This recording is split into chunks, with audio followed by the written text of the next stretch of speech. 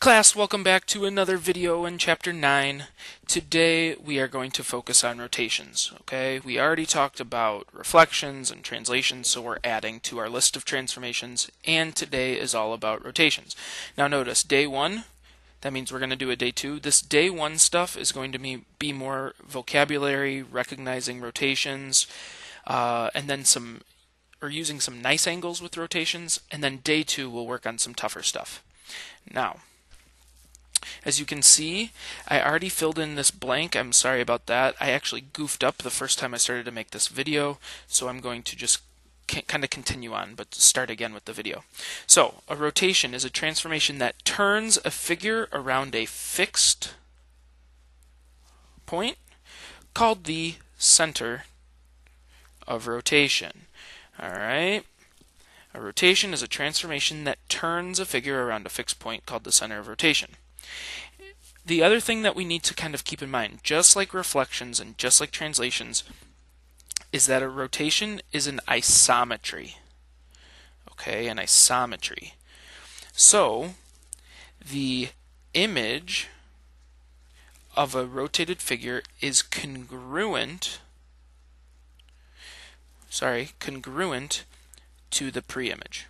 That is important, and you'll see that on the next page, and then also when we get into our next type of transformation in a little bit.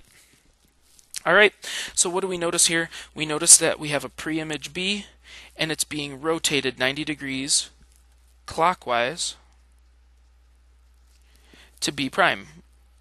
All right, or I can look at my pre-image A, and it's being rotated 120 degrees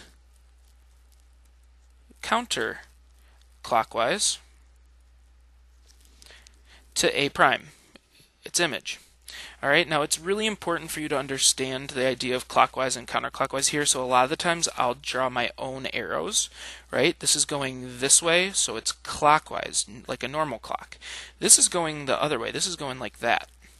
All right, so this is counterclockwise. It's going the opposite of how a clock would go. All right, so we take a look at our learning targets real quick. Uh, we still want to be able to distinguish between our dip- different types of transformations. And then really what we're going to do is can we draw rotations about the origin in a coordinate plane? That's what we're going to work on a lot today. All right? So as we flip over to the next page, this first part is similar to the last video where we need to uh, recognize what type of transformation is occurring. All right, so hopefully we agree when we look at number one, this is definitely a rotation. How do I know? Well, it's being turned, right? I have this piece and it's being turned to this. Or I guess you could go the other way. You could say you have this piece and it's being turned to here. But either way, this is a rotation. And really it's because pre-image is being turned, turned, turned to the image. All right. Now, when we look at number two, this is definitely not a rotation. What's going on here? This one looks to be a reflection. All right. And I know this is a reflection because it's being flipped over a line of reflection. Alright, and then I need to draw that line. Maybe dash it, something like that, and we're good. Alright, so let me, oops, sorry, I'm off the page a little. There you go. Make sure you, if you need to, you can pause this so you can write those down. Now, number three. Number three is a little bit different. It looks like it's sliding from here to here. But what's the problem? What's the problem? We said that all of these different transformations are isometries, right? Or congruent. Pre-image and image. Okay? So what's the problem with this picture number three? Hopefully you, uh, hopefully you guys agree. These are completely different sizes, right? This is smaller, this is bigger. This is not an isometry. This, let's call this the pre-image. This pre-image is not congruent to the image, okay? So this is none, and we can say preimage is not congruent to the image. All right? I think that's a good explanation. All right, this last one, I don't quite like this picture, so what I want to do, I want you to kind of cross this part off. Okay, I want you to cross this part off. I don't like this because of the lines in the circle and whatnot, so try to forget about that for a second. All right. Actually, you know what? I'm just skipping this one in general. I will not give you anything like this. I don't like that picture at all because it's actually kind of two things. It could be a rotation or a reflection. So again, let's not worry about that one for right now. All right, let's jump into some examples of rotations, okay? Now, the trick here, and one thing you have to be really or get really good at is one, being able to list points Okay, so for example, I have point S and it's over here at negative 5 comma 3. So negative 5 comma positive 3. And V is here at negative 4 negative 1. So V is negative 4 negative 1. Now, the trick for all of these, the trick for all of these rotations on a coordinate plane is that you're going to rotate your paper. We're going to have some fun with this. We're going to move our paper around. Now, this says that I can go 100 or that I need to rotate 180 degrees. That means that you can go either 180 clockwise, right?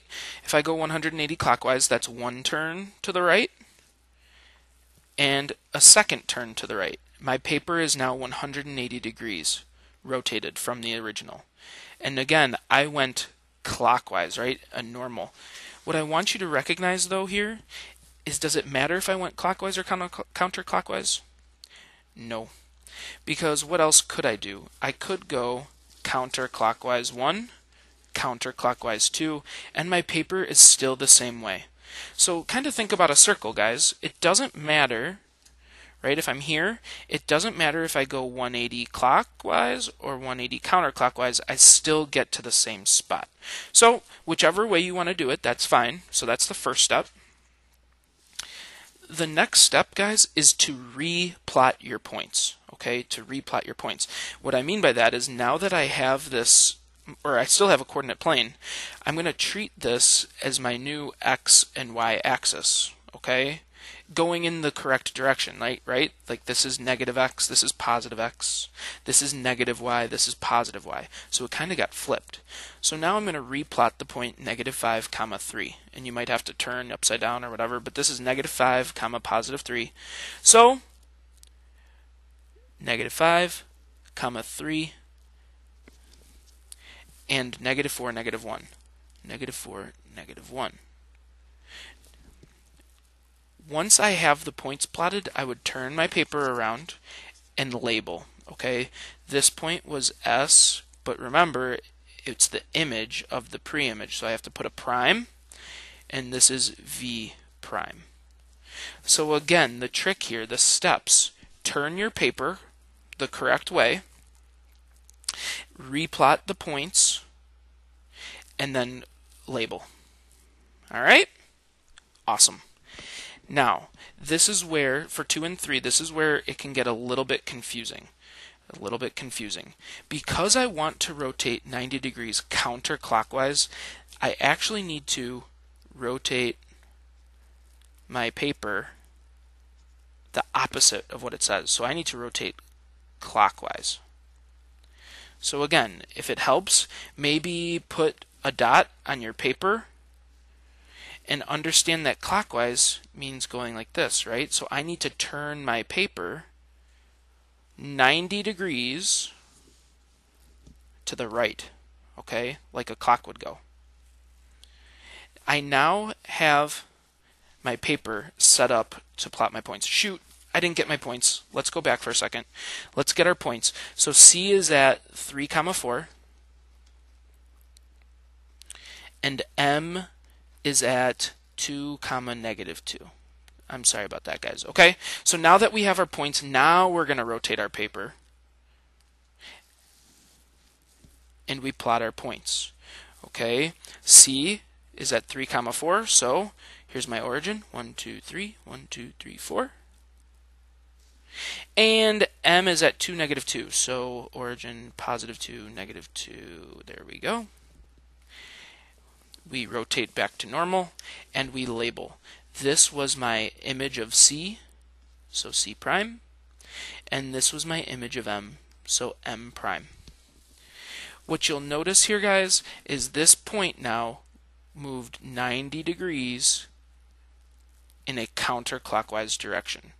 So I know that's goofy that you have to rotate your paper the opposite, but what it does is it ends up moving the point counterclockwise, and that's what we wanted. Okay, so let's try one more. 90 degrees clockwise means I'm going to go counterclockwise when I rotate my paper. So rotate paper counterclockwise. Other things I have to remember this time, get our points before we start turning. So this point Z is at 4, 3. And H is at, what is that, negative 1, negative 5? All right? And now again, because I want to rotate clockwise, I'm going to rotate my paper the opposite, counterclockwise. So that means if I think about my dot here, now I'm going backwards. So I need to do the same thing with my paper. I'm going to go to the left one turn, 90 degrees. Okay? And now I plot the points again. 4, 3, origin 4, 3, there's 1, and negative 1, negative 5, back 1, down 5. Okay? Boom. I label this was Z prime. This is H prime. And just to kind of check, notice what happened. I went from Z to Z prime. That is going in a clockwise direction. H to H prime, clockwise direction. Okay, so that's what we wanted. So really, guys, again, the tricks here are to first label your points or figure out what your points are. Sorry, figure out what your points are. Turn your paper the direct, the correct way. Replot the points and then finally label. All right? Let's see here. Let's do at least one of these where instead of just points we have a figure and see what happens. Okay? So let's take a look at 4. First things first, let's plot what we have. So u is at negative 2, 0. So maybe right there r is at negative 3, positive 4, and m is at 2, 2, so 2 comma 2. All right, here's my figure.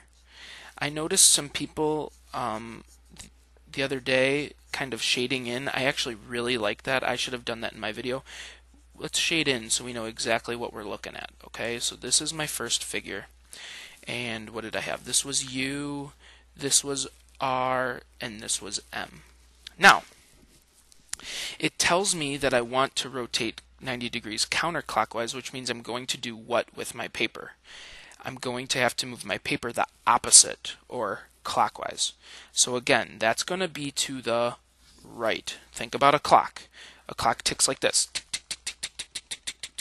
Right? Okay, so you're going to want to go clockwise. 90 degrees, or one turn. Okay. Now what do we do? We replot our points. I'm going to change colors. If you guys don't have colors, maybe do like light and dark or something. Colors would be a good idea though. But again, I replot my points. I had u at negative 2, 0, so this is now negative 2, 0 with my new set of axes. And then negative 3, 4, back 3, up 4, and lastly 2, 2. All right. So now that I have all of that, I'm going to turn back to the correct orientation. I'm going to sketch my figure. I can shade it in if we want. Not necessary. But the last thing we have to do is we have to label our points. This was u prime, right? It was u, now it's u prime. And it went counterclockwise, just like we thought. Here's r. It went counterclockwise over here to r prime. And lastly, m went counterclockwise to m prime. All right. I think that should do it. I think that's long enough. Uh, I would strongly encourage you guys to try five on your own, but if you notice on the next page, we have a lot of stuff to practice. So don't worry about it if you do not have time. All right, that should do it. I hope you guys are starting to understand how to complete these rotations on a coordinate plane. I'll see you next time.